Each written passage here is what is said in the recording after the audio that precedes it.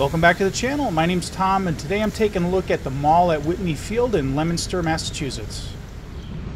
This mall originally opened in 1967 as the Searstown Mall, but the name was changed in 2004 to the Mall at Whitney Field as part of a major renovation. The original anchor stores were Sears, R.H. White, which I've never heard of before, and Bradley's, all of which are no longer at the mall. This video was filmed on a Friday at about 11 a.m. I've never been to this mall before and I'm not sure how busy it normally is, but the mall definitely did not feel busy while I was there. I don't think I would call this a dead mall exactly, but I get the feeling that it may not be doing too well. One thing that makes me think this is these long hallways with no storefronts in them. From what I understand, these walls were put up in the last few years to cover up the vacant storefronts. And based on some old maps I found of this mall, there used to be quite a few stores where these walls are today.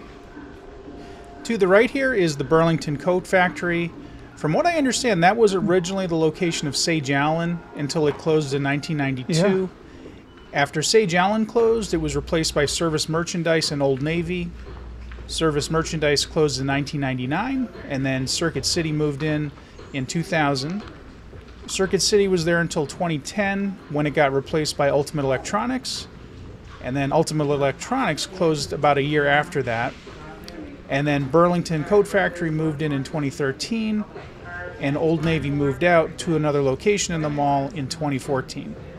So there have been quite a few different stores in that one location over the years. And here's a picture of what this hallway looked like right around 2005 or so when Old Navy was still where uh, Burlington is today.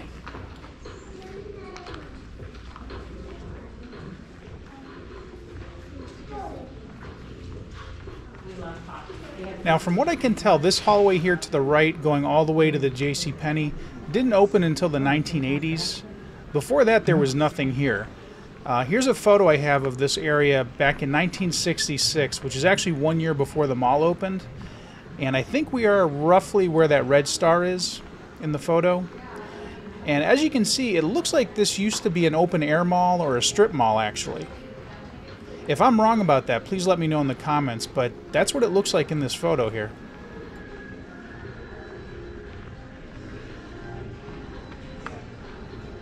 Now, as I said earlier, they've added a lot of these walls to the mall fairly recently, and I think it's actually a good idea because it is kind of deceptive. It makes you think that the mall is probably doing better than it actually is because you, you don't see empty stores here, you just see walls with pictures on them.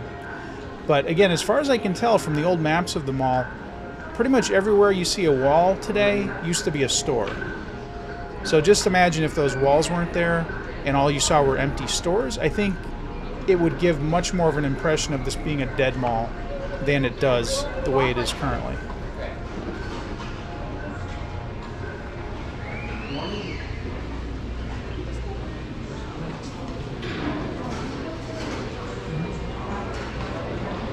And here's the food court. I have to say it's probably one of the least impressive food courts I've seen recently. There really wasn't much of a selection of restaurants at all. But I guess it's better than nothing.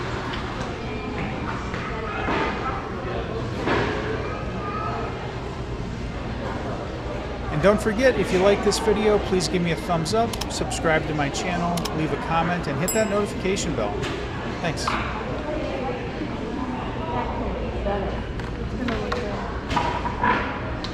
Not a very big food court. No.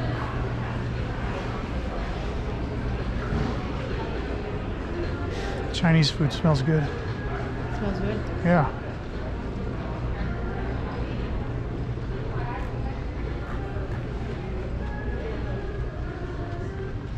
Straight ahead is the J.C. Penney, and this is the oldest remaining anchor store in the mall.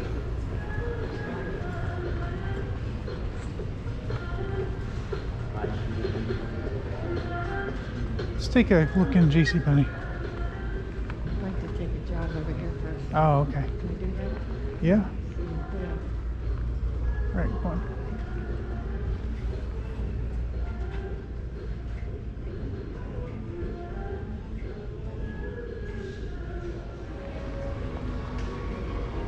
Apparently they have a leak in the roof because that bucket there was collecting rainwater. Usually not a good sign.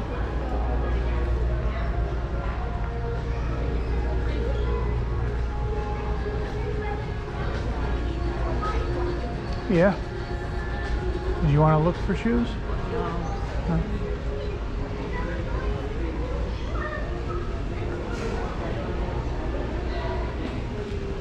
Coming up on the right after the shoe store, you'll see an exit to the mall. That used to be the entrance to Bradley's. Bradley's closed in 2001, and the Bradley's building was actually demolished in 2002 and was replaced with parking spots.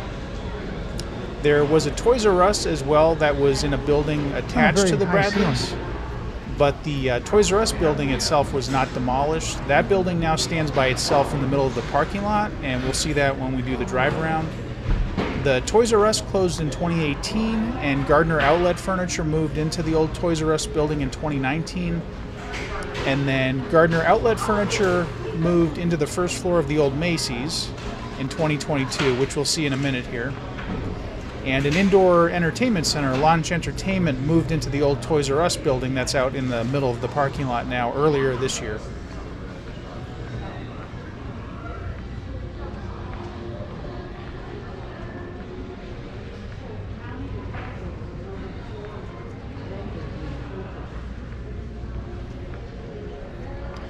Yeah, for food. For food. Yeah.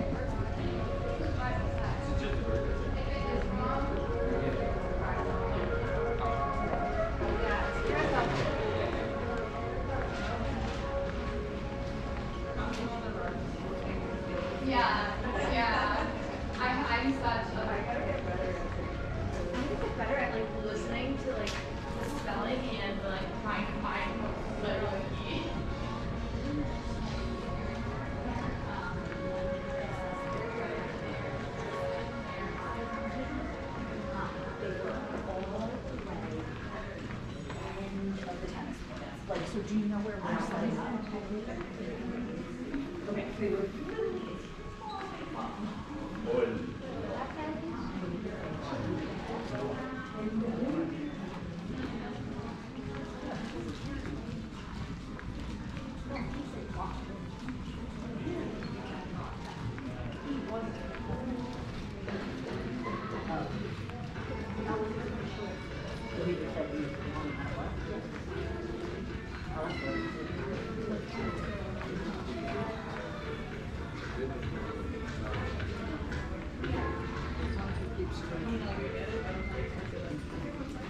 You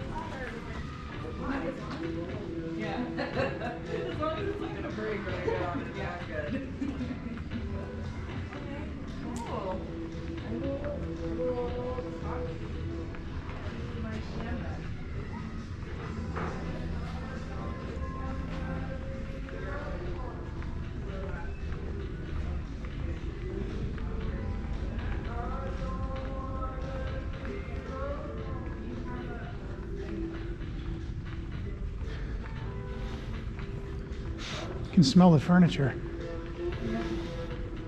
Straight ahead is the Gardner Outlet Furniture Store. From what I understand, the building that it's in today was built around 2002, and it was originally a two story Filene's. Then the Filene's became a Macy's around 2005 or 2006, like pretty much every other Filene's. Then Macy's closed in 2020, and then the Gardner Outlet Furniture Store moved in in 2022. As far as I can tell, the old second floor of the Macy's is not occupied, except by maybe offices or storage, but I'm not sure about that.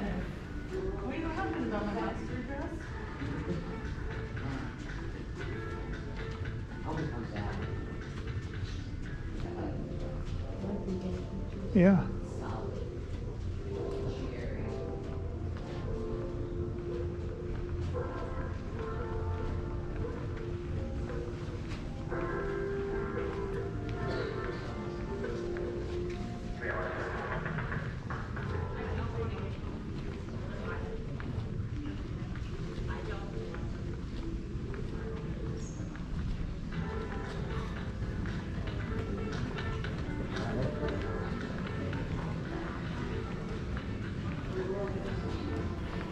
Here's more of those walls that they put up fairly recently. And based on a map I have of this mall from 1997, back then there were eight stores along this stretch on the right side. And you can see now it's all walls. So behind each one of those walls is a vacant store.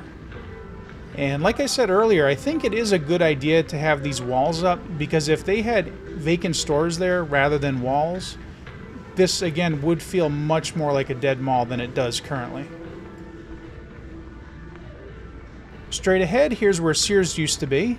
This Sears closed in 2020 and it's currently the only vacant anchor store in the mall. Here's another look at that picture I have from 1966, and in that picture you can clearly see that the Sears was not attached to the rest of the mall. It looks like the mall actually ended right about where that LensCrafters was, and then this whole area here was just part of the parking lot basically.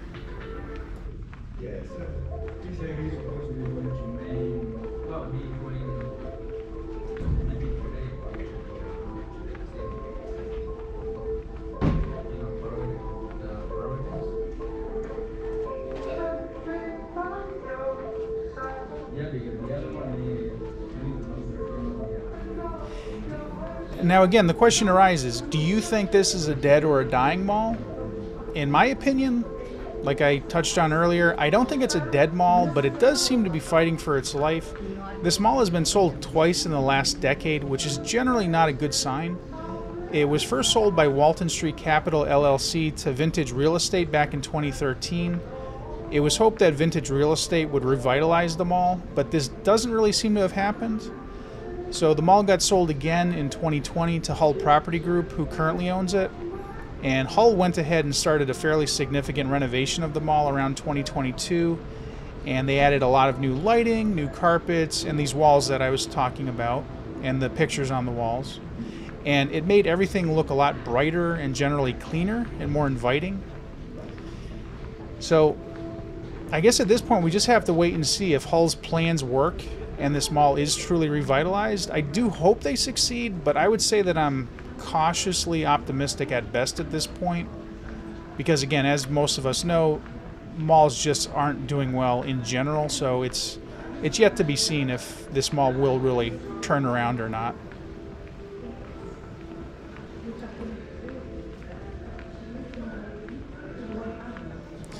So if you've been to this mall before, especially, you know, back in the 70s, 80s, 90s, let me know how you think it's doing today versus how it was doing back then. And what do you think? Do you think it's a dead mall, a dying mall, or is it doing just fine? Let me know in the comments.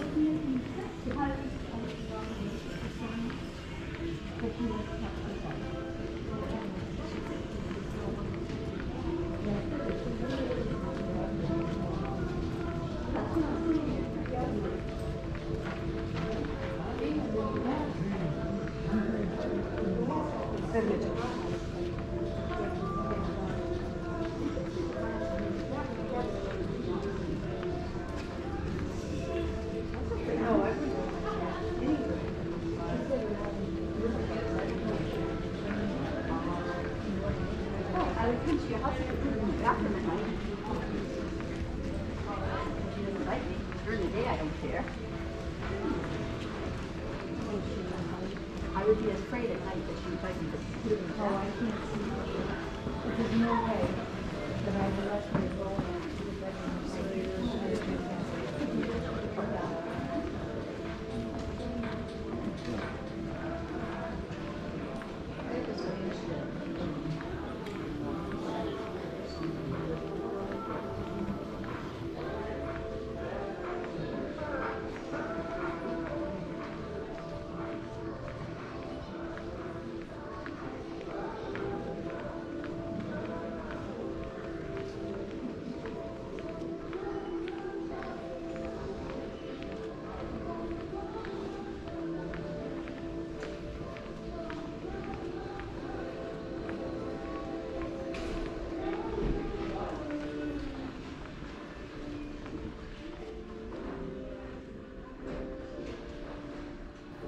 Now, don't go anywhere yet. As usual, I'm going to do a drive around of the mall and also take a look at the old Sears Auto Center, so stay with me.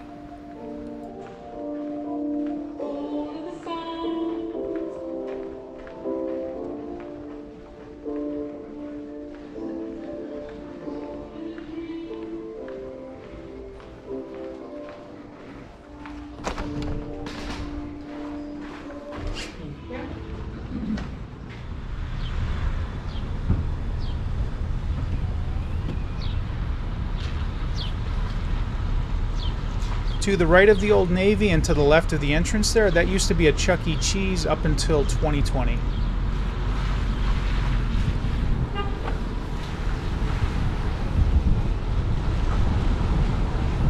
That old storefront there to the left used to be the Circuit City, and before that, the Service Merchandise.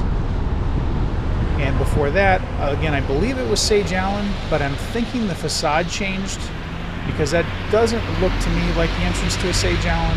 But if anybody knows for sure, let me know in the comments. I wasn't able to find any pictures of the Sage Allen online.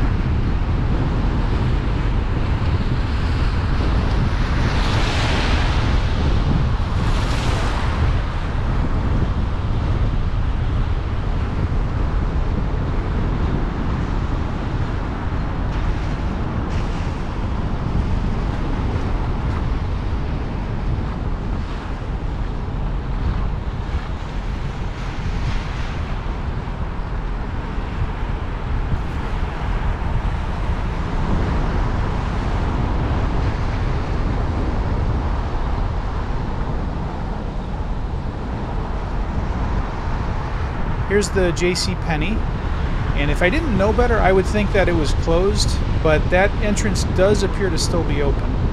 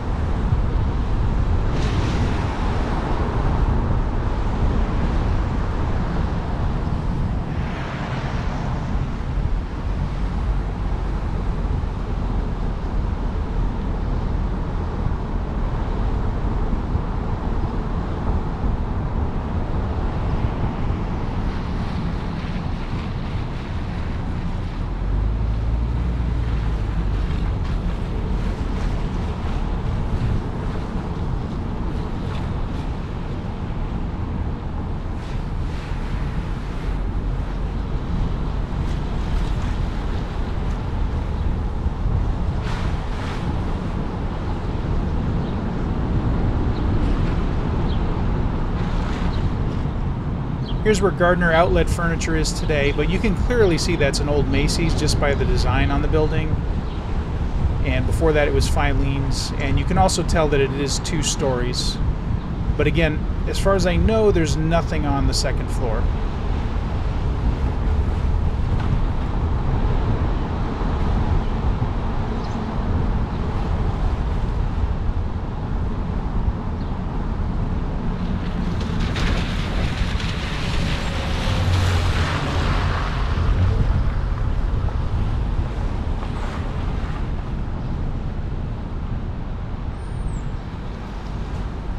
Here's the old Sears, obviously. It still has the old sign up.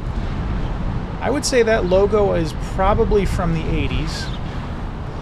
And while this Sears only closed in 2020, so, you know, not that long ago, three years ago, the Sears looks very old. I know the Sears was here back in the 60s, but I don't think they updated the facade on this Sears in at least 40 years because this to me looks like a Sears straight out of the 70s or 80s.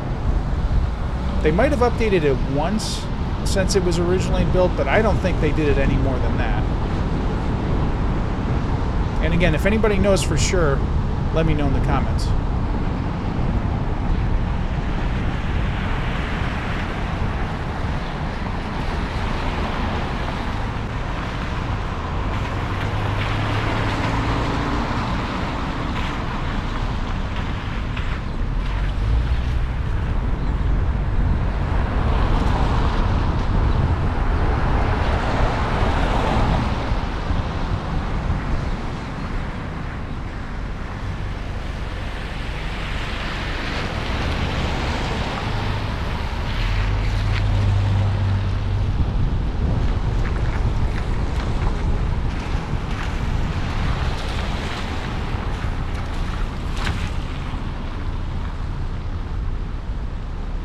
Now let's go take a quick drive across the street and look at the old Sears Auto Center.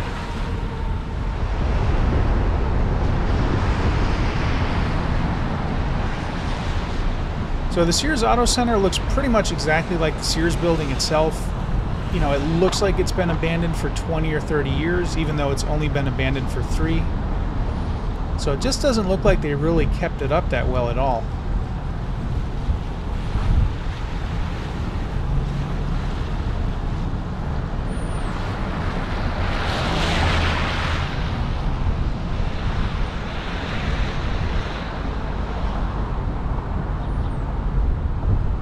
As we come around the side of the building here, look to the left and you'll see that they actually had a Jackson Hewitt tax office in here. I'm guessing within the last few years, but that's also closed. And there you have it. That's the mall at Whitney Field. I hope you liked the video. If you did, please give me a thumbs up. Subscribe to my channel, leave a comment, and hit that notification bell. I've got a lot more mall videos coming up. So thanks for watching, and I'll see you next time.